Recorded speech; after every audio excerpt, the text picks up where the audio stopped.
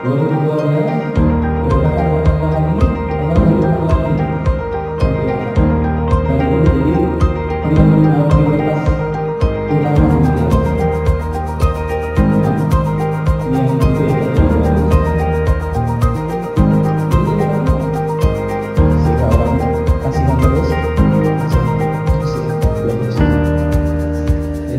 kedua saya jago banget